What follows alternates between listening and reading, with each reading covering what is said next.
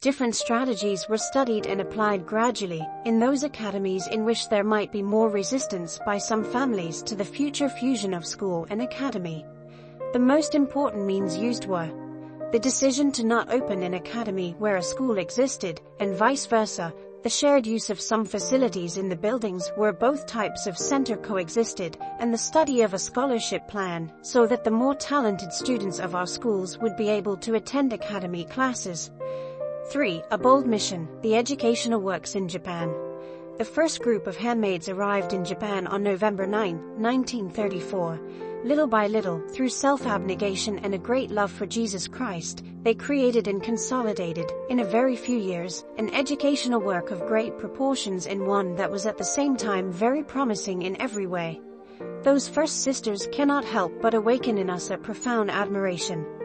It has to encourage us profoundly to see how the divine heart of Jesus has chosen from among ours those who bring knowledge of the same heart. Let us unite ourselves to our sisters, let us pray and sacrifice ourselves in union with them so that their work may be fruitful, and sharing in their labor, let us share as well in the immense consolation of drawing souls to Christ. The Japanese people grasped the dedication of our sisters and enveloped the handmaids in an atmosphere of affection, trust, and esteem. Soon the first vocations for the institute entered, and by 1964 there were more than 80 Japanese handmaids.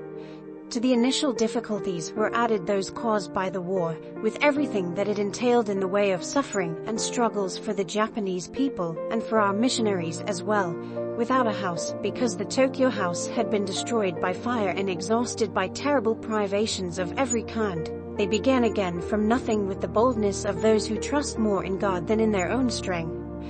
Those first handmaids realized, as soon as they arrived, that education, considered so important in Japan, could offer them an ample field for evangelization. It was, without a doubt, the most fruitful apostolate possible and one in which they could lay strong foundations for the future. In fact, in those times, almost all the conversions took place through our educational centers. In Nagano, a city deeply rooted in the Buddhist tradition, we founded the first Japanese academy after the war in 1946. In 1947 the Academy of Yokosuka followed, which began with 534 students of both sexes and from the very beginning, with various levels of instruction. Its beginnings could not have been better, and very soon it was the largest academy of the Institute. Almost from the very start, it had to rely on the collaboration of Catholic lay teachers since there were not enough handmaids. The third Japanese academy was that of Kamakura, a daughter school of the Yokosuka Academy. In 1953 it became an independent academy. A very important and complex educational work was the Catholic Women's College of Yokosuka, created in 1950. The ups and downs that it experienced since its foundation were significant. Soon it was evident that this city was not the right place for the university. It was necessary to move it to Tokyo, but how? The future of the College of Yokosuka the masterpiece of our mission, stands before us today as an undecipherable riddle. Will it disappear as quickly as it came to life, or is all of this simply proof that this work is truly beloved by God and must therefore experience setbacks? Time will tell. Meanwhile, we continue to work and struggle to stay on course, as if everything depended on us, but trusting fully that in the end, God our Lord knows what He is doing and often right straight with crooked lines. After more than 10 years of anxiety and uncertainty, in 1964 the longed-for move to Tokyo took place. This year stands out in the history of our Japanese mission as one of the most memorable. The decision was risky, but God's time had arrived. From this point on, an important restructuring of our Japanese educational works began, with the focal point being the College of Tokyo, the work of the Japanese mission could not have been accomplished with only human wisdom. When we contemplate the enormous educational work that our missionaries carried out, we have to think, almost automatically, that they, with simple and sincere humility, must have repeated more than once that phrase of Saint Raphael, we have not founded anything, it is the Sacred Heart of Jesus that has done it all. 4. Apostolic efforts multiply. While it is true that the free schools and the academies occupied pride of place in these years, it is also true that our sisters offered other educational presences that were very directly linked to the world of education. It is not the object of this book to study these works in depth. We shall only touch upon those which have been most significant in the history and development of the congregation. Both the former and the latter express the importance of educational works for the Institute. Aspirancy Academies we have seen in the previous chapter that there had already been some tentative attempts to establish this type of work in 1917, but in practice it enjoyed little success.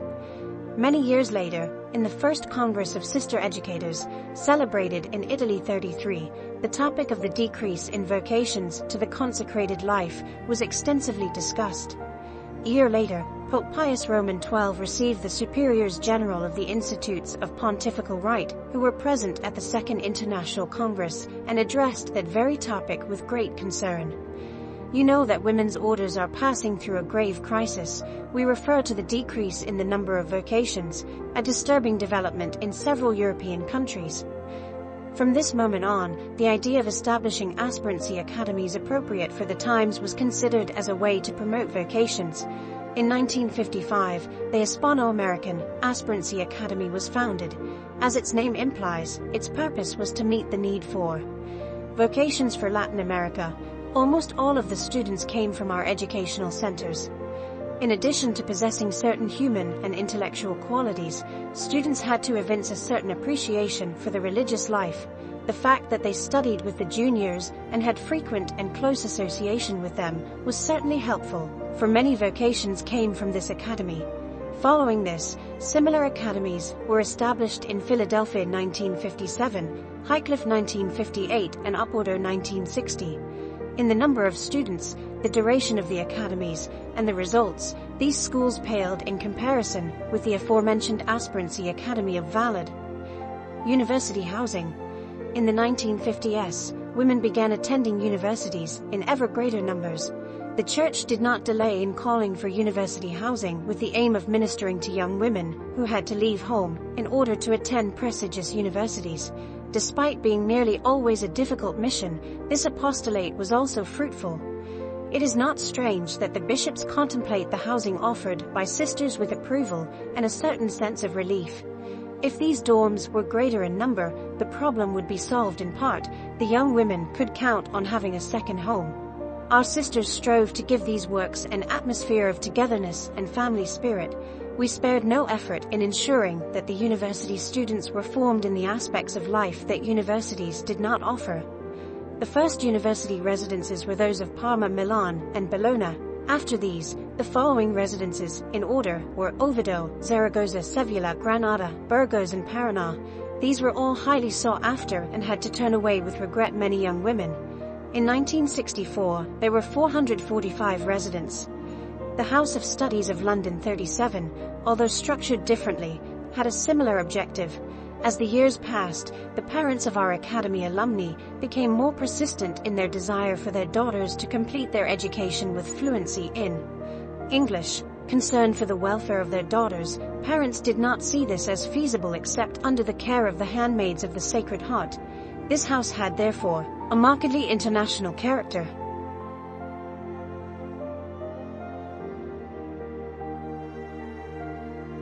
Educational collaboration with other entities.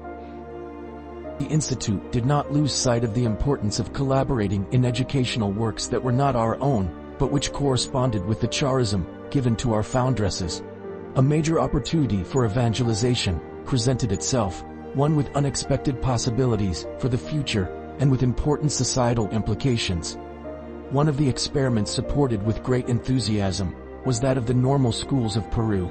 On May 29, 1959, Mothers General who resided in Rome were convoked and church spokespersons described the grave problems that the Catholic Church was suffering in Latin America because of the influence of Protestantism and most of all, because of the infiltration of communism into intellectual circles our institute did not delay in responding, and Mother Cristina Estrada wrote to the provincials of Spain. This letter will encourage all of us in our care for the apostolic works we have established in Latin America and the desire to cooperate ever more actively in them.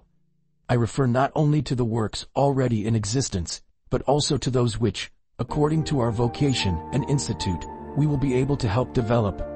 I want to consider with you in what form we could respond to the petition, which the Pontifical Commission for Latin America addresses to us when it says, What would the holy founders and foundresses of your institute have done if they were here today? Following their example, increase your apostolic efforts in facing the needs of today's world.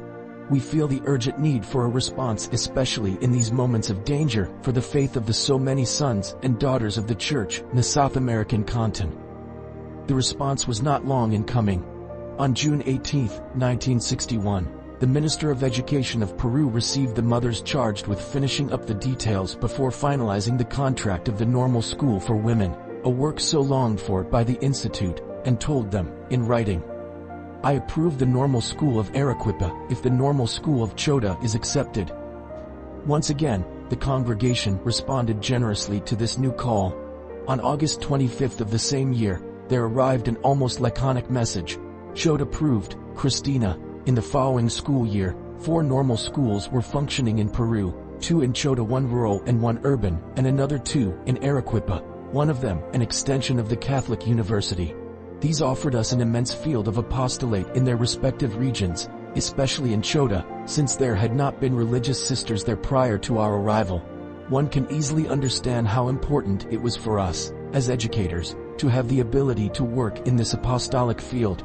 The goal was an important one, forming good Catholic teachers, which was equivalent to saying, very soon you will have in your hands the future of generations to come. Another teaching work that had a markedly social character and was very new for the Institute depended on a state entity, the Virgen de la Victoria Home, in Torre del Mar, Malaga. In this boarding facility, there were 212 girls who lacked almost everything, as one of their teachers tells us. They are so needy, and they have discovered here a warm home with an atmosphere permeated with love and understanding in which we sisters also are happy to exhaust ourselves for the good of these souls, so young in age, yet so advanced already in suffering. Many more interesting examples could be added, such as the Academy of Perugia 1957, or the Parochial School of Baltimore 1959. New educational styles were opening up for the congregation. These challenges must be seen through the lens of God's will for us. 5. The most comprehensive training possible. The apostolic educational activities being developed and carried out in the Institute following the spirit of the constitutions, were now numerous and important, as we have seen. The lack of well-prepared personnel sometimes made it difficult to accomplish some projects. Moreover, the Church too was advocating further formation for sisters.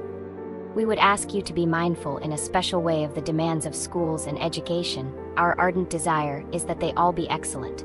This, however, implies that your teaching sisters know and assimilate perfectly what they teach take care in obtaining for them a good preparation and formation, which satisfies the requirements of quality and certifications demanded by the state.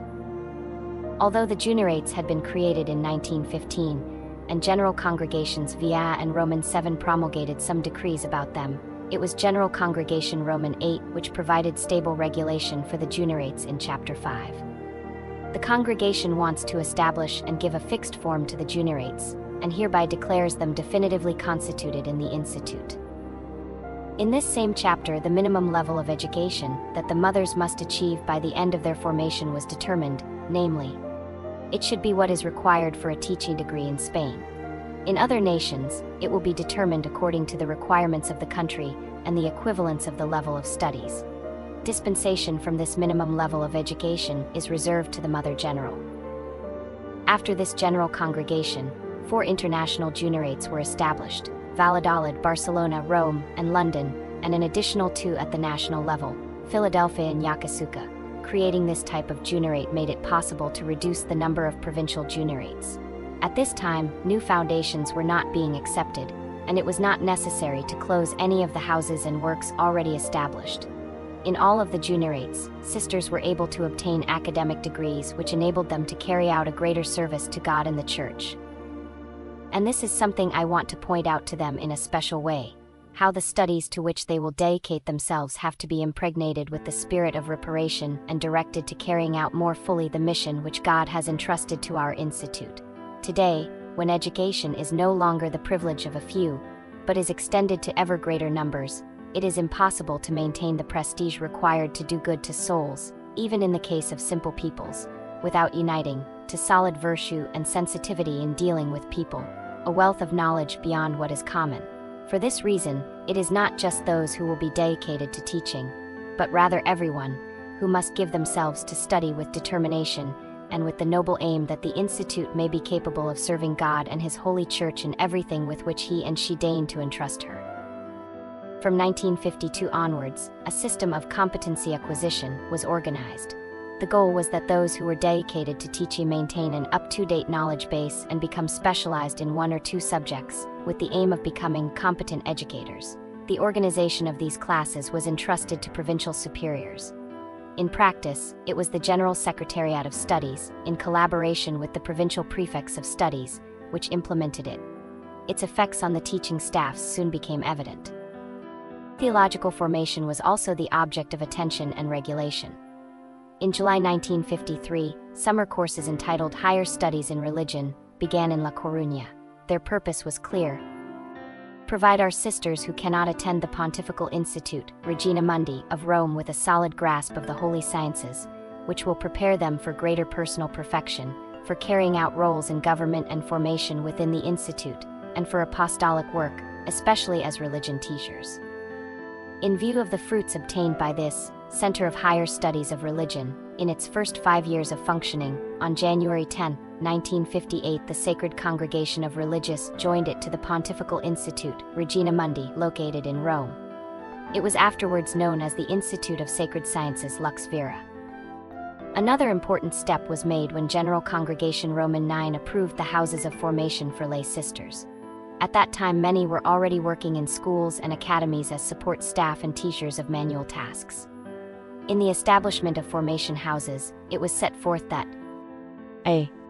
During two years, upon completing the novitiate, they will be gathered in a house especially designated for this purpose, where they will continue their formation in the spiritual life and acquire what will be useful for the various offices they will need to carry out. D. These houses of formation will be provincial or interprovincial, according to what is best in the opinion of Mother General.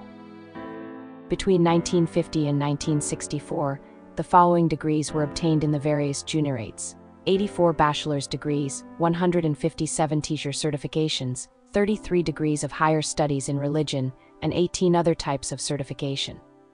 In the houses of formation of lay sisters, 107 diplomas were given in home economics, typing, nursing, and more. In addition, there were 230 competency acquisitions completed during the summers. The effort and sacrifice which the rapid implementation of the legislation of General Congregation Roman 8 required produced very good results. From this painstaking plan flowed very important benefits for our works of zeal in general, and in a very special way, for all of our educational works. 6. Trust and transition. We have shown, albeit in a tentative and superficial way, the great vitality of the Institute in the area of education during this time period. The congregation, as in other moments of its history, listened to God's calls issued by means of the Church in the world. To new challenges, the congregation offered new responses, which stemmed, once again, from the dynamism that comes from the reparative charism given us by our foundresses. New apostolic works, not always easy to manage, were begun and were able to continue because there was very clear conviction that although we may be small because indeed we are small, and if some member of our congregation thought herself important, she would be worthy of an asylum. Our aspirations, depending on God, must be very great indeed.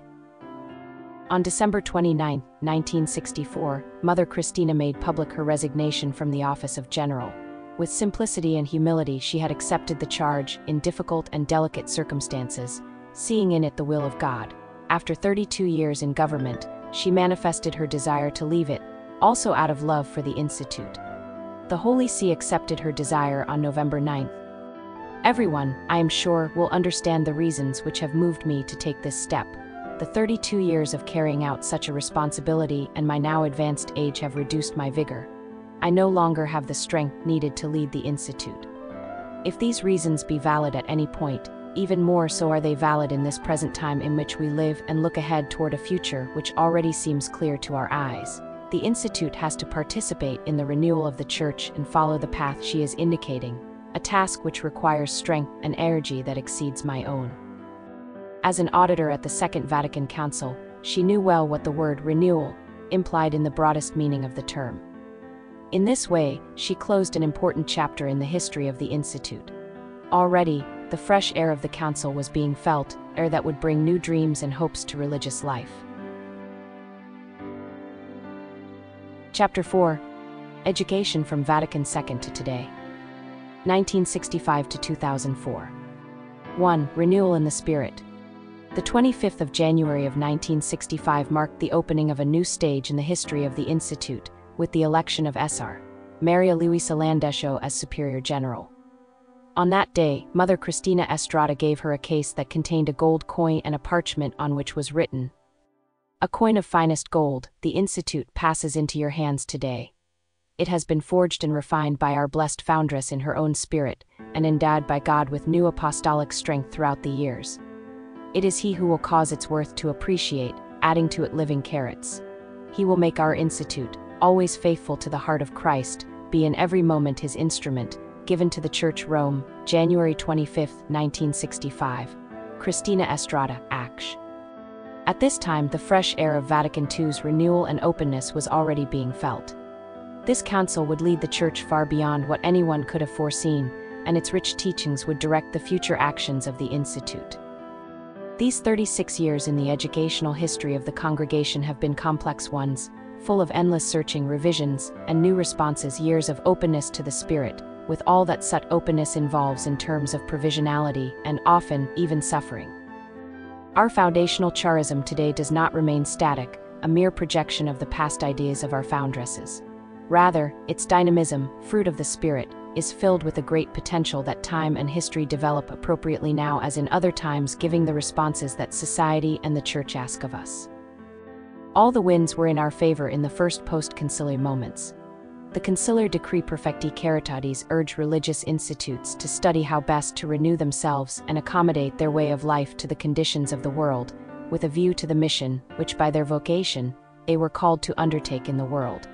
The latter part of the 20th century was marked by attention to this task, in this climate of renewal.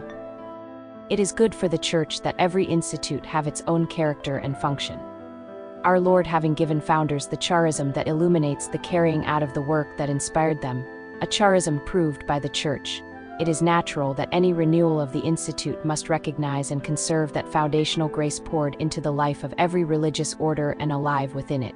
The Institute is part of the Church, and its life, undertaking, and aspirations must coincide with those of the Church, in the measure determined by the objectives and functions for which it was founded and approved. On this point, we must ponder what contribution our institute, in accord with its specific nature, will offer to the conciliar work of Church, renewal or aggiornamento. We do this first of all in order to assimilate it within the Institute, and then in order to promote it in all of the Institute's works. Pope John Paul II will return to this same idea some years later. In order to address well the great challenges that current events pose for the new evangelization, fidelity to the founding charism is important this requires a serious discernment of the calls that the Spirit issues to each institute. In these very rich and interesting years of our history, there have been four superiors general, SR, Maria Luisa Landescio 1965 to 1977, SR, Ana Maria Hernes 1977 to 1987, SR, Rosario Leo 1987 to 1997, and the current Superior General, SR, Rita Burley, elected in 1997. Although the Institute has not been in a growth phase during these last few years, just as in previous time periods it has been faithful to its universal mission, as understood by our foundresses. It has continued its expansion to new countries and continents, in order to offer a lived message of love, faith, and hope, in Ecuador 1965, Cameroon, Philippines, and France 1966, India 1968, Israel 1976, Brazil 1981, Scotland 1987, and the Democratic Republic of Congo 1989. At the same time, the number of communities has increased in places where the Institute was already present, focusing on areas where evangelization was insufficient or gravely compromised by educational, social, or economic inequalities, just as the Church and more recent general congregations have urged. A vocation without borders was the great utopian vision of Rafaela Maria, and today as well it is a challenge for the handmaids of the 21st century in over 20 countries around the world. 2. Our educational roots and new needs. Vatican II strongly emphasized the great importance of Catholic schools and issued a call for them to open themselves to the new necessities of the time. Attention should be paid to the needs of today in establishing and directing Catholic schools. Therefore, though primary and secondary schools, the foundation of education, must still be fostered, great importance is to be attached to those which are required in a particular way by contemporary conditions. This sacred council of the Church earnestly entreats pastors and all the faithful to spare no sacrifice in helping Catholic schools fulfill their function in a continually more perfect way, and especially in caring for the needs of those who are poor in the goods of this world or who are deprived of the assistance and affection of a family or who are strangers to the gift of faith. There are many calls to which the Institute cannot always respond because the Church asks us, at the same time, to not abandon our educational centers, because they are a very important means for education in the faith. How to give our students a formation that allows them to mature in their Christian lives in accord with the needs of the world we live in today is a constant concern for all of us. The educational inheritance passed down to us was valued in these times as a privileged means to effect evangelization and the integral formation of youth. Within the apostolic mission of the Institute, dedication to the training of youth in our educational centers is of enduring importance. We must all become aware of the current pressing need for Christian education for the Church and for society. The sisters dedicated to this difficult but very important task should be encouraged to carry it on with renewed enthusiasm. In the 1970s, the fusion of schools and academies is completed education for all social classes is the goal, and it is determined that, from now on in all the documents of the Institute, all our educational activities will be included in general and without any distinction under the heading Apostolate of Education and Teaching Centers. In practice, the name used will be that usually employed in each country to indicate the different kinds of education given. The most difficult goal in the educational realm had to do with the academies given that the former poor schools were free of charge and in some places enjoyed significant economic assistance for their upkeep, as was the case of the state-subsidized schools of Spain, where many sisters were considered equivalent when they met the conditions to teachers hired by the government. For the Institute, the democratization of the academies founded before the Council became an urgent call at the institutional level, a call that was supported by the fact that some governments began to underwrite the cost of private education, if not entirely, at least at the level of obligatory education. Where it was possible to obtain subsidies for free education, agreements were forged with the appropriate educational authorities. The Institute also asked its schools to investigate how to obtain economic assistance in the various countries, and scholarships are awarded to girls so that they can continue their education in the academies. The writing of the new constitutions, which followed the orientations given by the Church and the demands of the day, is another event of great importance for the congregation. In them, it is clearly expressed that our apostolic action is education in service of the gospel. It includes promoting human development, announcing the gospel message, and helping peoples to internalize their faith, both as individuals and as members of a community. This education in service of the gospel has a very concrete manifestation in the education and formation of children, youth, and adults, which according to our reparative charism must be carried out from the perspective of the education of the whole person, an education taking place in a pluralistic society. Our education must also promote the attitudes of peace and reconciliation that spring from the Eucharist. At the local, provincial, and even national level, our educational efforts were characterized during this time by the desire for the creation of authentic educational communities, and our work demonstrates collaboration, teamwork, and dialogue.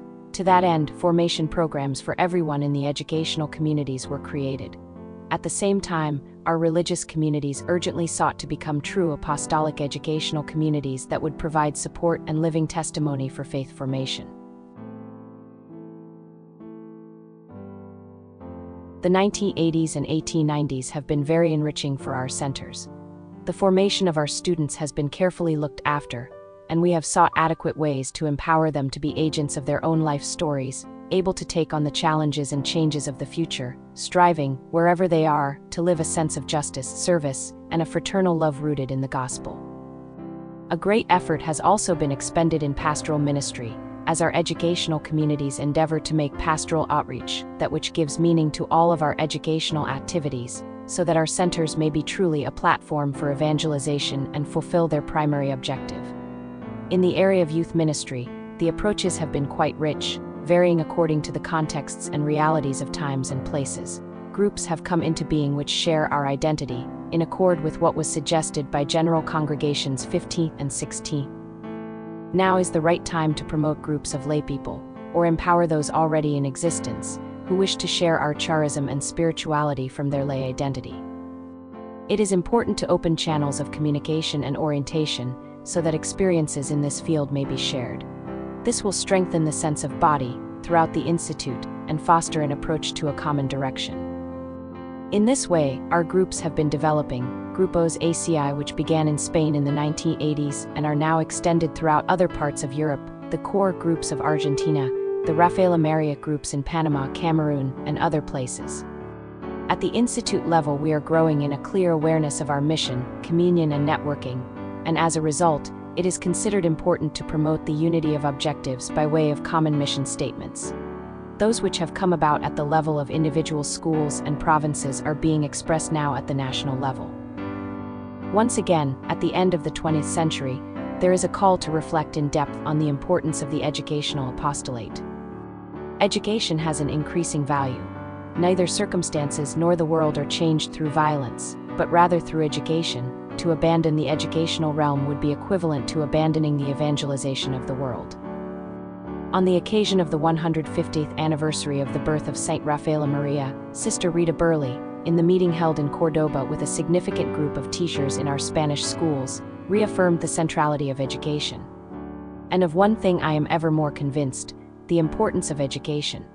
Education is what allows us to be protagonists of our own existence and architects of the transformation of society. This is because the fruit of a true education is always a person of integrity who knows who he or she is and knows the purpose of life, a free person who is not governed by luck, the prevailing culture, the opinions of others, or his or her own weakness, a person with the ability to critique, to appreciate the good, the beautiful, and the true when it comes along, and able as well to reject the interference of egoism which affects so many of the structures of our society. These are the people that the world needs today. A few years later, she reemphasizes the same idea the handmaids in Spain have made an option for educational centers. For us, our schools are very important platforms for living the mission which St. Rafaela Maria received as a gift for the Church and the world. And, although we have other apostolates of education in service of the gospel, we know that this one is very important because of the large number of children and youth whom we can draw to the person and values of Jesus Christ. The Institute does not doubt the importance of teaching and recognizes that despite its limitations, it is indispensable for the individual and social growth of the human person. However, the Institute does re examine teaching under the light of the new directives of the Church and the needs of the world, so that it may be, once again, faithful to its reparative charism. Looking toward the future, the Institute declares expressly that the congregation dedicates itself to the apostolate in educational activities, which cover all stages of women's formation in its various aspects and are open to all social classes. At the end of 2001, the Institute has 51 educational centers across five continents, some of which belong to other entities, which educate 33,270 students. Early childhood, primary and secondary schools, including high schools, have 30,050 students. At the university level, there are 2,030 students, who are distributed as follows. The University of Tokyo has 2,103 students, the College of Tokyo Tandai 712, and the Pedagogical School of Chota Peru 477 students. If we compare these data with those of 1964, we can observe that although the number of centers has decreased after the fusion of academies and free schools, the number of students has risen by 11,713. With these figures, it is important to keep in mind that in general, the student population of each center has risen dramatically from what it had been in previous times. It is also important to remember that many countries have striven in the past decades to achieve more widespread childhood education. One last factor that has been very important in allowing us to greatly increase our sphere of action has been the collaboration of so many laypersons in our educational undertakings. With the ever greater access of women to university level study in the different parts of the world, the Church asks, once again, that the educational apostolate not forget this means of education. The pastors of the Church are to expend their energies, so that even at universities that are not Catholic, there should be associations and university centers under Catholic auspices in which priests, religious, and laity, carefully selected and prepared, should give abiding spiritual and intellectual assistance to the youth of the university. Here again, the Institute gives a response to concrete needs in this difficult apostolate from its social and apostolic mission, so that the young women's process of growth does not take place in isolation from faith. Thirteen university centers and residences were created in these years, although some of them have existed for only a short period of time. At the end of 2001, the Institute had a total of 14 university residences with 754 students in residence, 309 more than in 1964. During this time period, the congregation has carried out important decisions in the educational field. These decisions have allowed us to undertake new actions and look to the future, while remaining faithful to our reparative charism, keeping in mind at all times that reparation must necessarily include repairing one's brother or sister. 3. Reparation and the option for the poor. On April 30, 1983, S.R. Anna Maria Hernes, then Superior General, writes to all the sisters presenting the new constitutions. Our field of apostolate is immense. There is today much poverty in the world, much injustice, much suffering, and many men and women who have not been evangelized. All of this urges us to offer ourselves without reserve. The spirit of altruism, so characteristic of the congregation from its beginnings and its concern for the most needy classes, just as our constitutions demand and the post conciliar churches, is once again made evident in General Congregation X, where it was declared that our love for the poor and our greater dedication to social work should be manifested. A. In an increasing interest in the classes in greatest need, according to the spirit of the constitutions, which is the spirit assigned by the Church to our Institute. D in great liberality in our work, maintaining the gratuitousness of our non fee paying schools and catechism classes, etc., and a spirit of detachment from all desire of gain in the apostolic works that are remunerative. C. In sacrificing possible foundations in less necessitous places, and even, if necessary, some of those which already exist, in order to go to places that are intellectually and materially underdeveloped. We should point out, however, that for us the preferential option for the poor does not allow us to exclude anyone, because our mission of reparation, the vital force of the Eucharist, and the gospel message we announce impel us to work for justice in love and to keep alive our foundress preference for the poor. Regardless of the position we hold or the social group with whom we work, we want to be one with suffering humanity. We have shown how the Institute, throughout its history, has lived the mandate of Jesus that was so deeply experienced by our foundresses. You will be my witnesses until the end of the earth. Now, in order to be faithful to a fitting renovation, the Institute begins to ask itself, where, today, are the ends of the earth? The response to this question establishes educational works among the most needy. The congregation is dedicated to educational activities, which cover all stages of women's formation in its various aspects and are open to all social classes. However, in the organization of these activities, it must always be kept in mind that it is according to the charism of the Institute to give preference to the education of the poor. Later, it is emphasized that the Institute is to continue to give priority to apostolate with the poor, dedicating the greater part of our apostolic activity to those in most need, those who, in working class areas, slums, rural districts, and underdeveloped countries are crying out for promotion and are begging our help. The actions carried out by the Institute leave no room for doubt. Between 1965 and 2001, there have been more than 150 foundations, the majority of which have been situated in places where there is an urgent need for human promotion and evangelization. The ends of the earth no longer coincide only with geographical remoteness, but rather with the grave situations of exclusion, of marginalization, situations that one can encounter in many civilized and developed cities where the congregation is present. Our education in service of the gospel, so characteristic of our reparative charism, has sought and will continue to seek methods and resources to promote the integral formation of the human person, especially among children and youth who do not fit into the current educational systems.